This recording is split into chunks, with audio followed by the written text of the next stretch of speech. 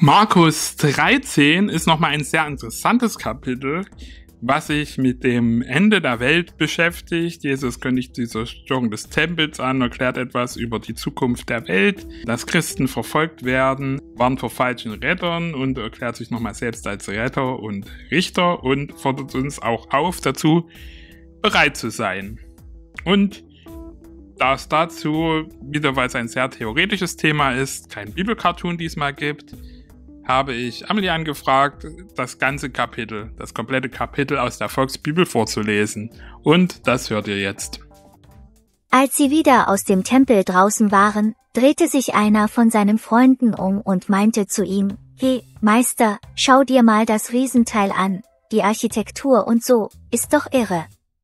Alles, was du hier siehst, wird mal platt gemacht werden. Hier wird nicht ein Stein auf dem anderen bleiben, antwortete Jesus. Später pflanzten sie sich auf eine Wiese beim Ölberg mit Blick auf den Tempel.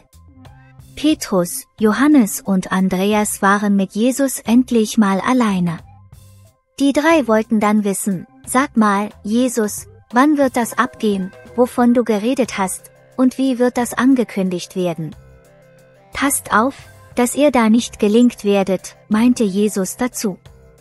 Es werden viele auftreten und behaupten, sie wären ich. Sehr viele werden sich verirren und verführt werden. Wenn in den Nachrichten aber viel von Kriegen die Rede ist, dann lasst bloß keine Panik aufkommen. Das muss alles so passieren, ist aber noch nicht das Ende. Völker und Regierungen werden wilde Kriegserklärungen abgeben. In vielen Teilen der Erde wird es zu Erdbeben kommen, und es wird krasse Hungersnöte geben. Das ist aber nur der Anfang von den schlimmen Sachen, die dann passieren werden. Pennt nicht, wenn das alles abgeht. Dann werden viele von euch angeklagt und verurteilt werden.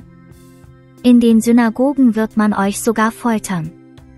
Weil ihr an mich glaubt, werdet ihr von der Regierung angezeigt werden und müsst euch dafür verantworten.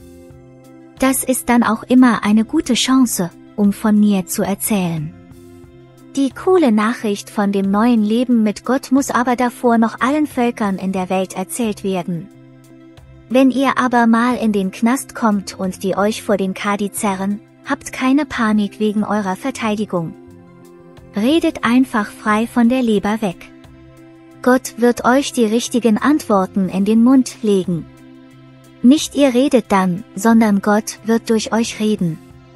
In dieser Zeit werden aber noch andere Sachen in den Familien abgehen. Brüder werden sich gegenseitig anzeigen und auf Todesstrafe plädieren. Väter werden ihre Kinder an die Bullen verraten und Kinder werden gegen ihre Eltern arbeiten, sie werden sie sogar umbringen lassen. Alle werden euch hassen, weil ihr mit mir lebt. Wer aber bis zum Ende durchhält, der ist gerettet. Wer das jetzt liest, pass gut auf. Was dann abgehen wird, ist von der übelsten Sorte. Eine fiese Fratze wird als Gott auftreten und den heiligen Ort total versiffen. Sie wird an einer Stelle stehen, wo sie eigentlich nicht stehen darf.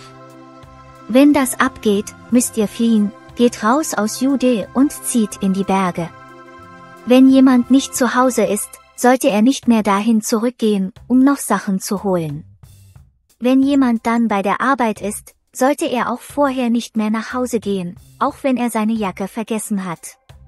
Schlimm wird es in der Zeit für schwangere Frauen sein und Mütter, die ihr Baby noch stillen. Betet, dass das Ganze nicht im Winter passiert. Das werden ganz fiese Tage werden, die schrecklichste Zeit, die die Welt je erlebt hat. So schlimm wird es danach auch nie wieder werden. Wenn Gott diese Zeit nicht verkürzen würde, würde keiner sie überleben. Doch wegen der Leute, die Gott ausgesucht hat, wird er es tun. Wenn irgendeiner ankommt und behauptet, seht mal, da kommt der Auserwählte, der Christus, oder einer die Ansage macht, da ist er ja, dann soll euch das egal sein. Es werden viele Fake-Christusse kommen, und auch falsche Propheten werden ihren Auftritt haben. Sie werden sogar übernatürliche Kräfte haben und Wunder tun können. Man wird auf sie hören, und sie werden viele verwirren. Passt auf, Leute! ich hab euch gewarnt. Wenn diese üble Zeit vorbei ist, dann wird die Sonne plötzlich dunkel werden, und der Mond wird nicht mehr zu sehen sein. Es werden Meteoriten aus dem Weltall auf die Erde fallen, und das Gleichgewicht der Natur wird aus den Fugen geraten. Der Auserwählte Gottes wird dann sein Comeback feiern. Er wird aus dem Himmel auf die Erde kommen, für alle sichtbar.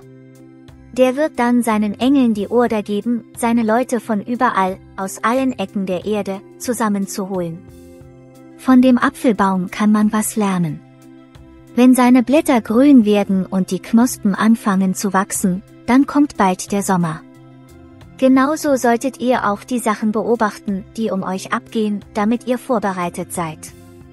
Auf sicher, diese Generation wird nicht untergehen, bis das alles passieren wird. Der Himmel wird mal zerstört sein, und diese Welt wird nicht mehr existieren, aber meine Worte gelten für immer. Keiner weiß, wann das zeitlich passieren wird, noch nicht mal die Engel im Himmel wissen das genaue Datum. Nur der Vater weiß das. Weil ihr keinen Plan davon habt, müsst ihr halt immer darauf gefasst sein. Der Sohn von Gott und von den Menschen wird wiederkommen.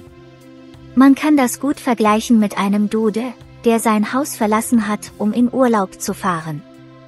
Er gab noch ein paar Anweisungen an seine Angestellten raus und sagte dem Pförtner, er soll aufpassen, wann er wiederkommen würde.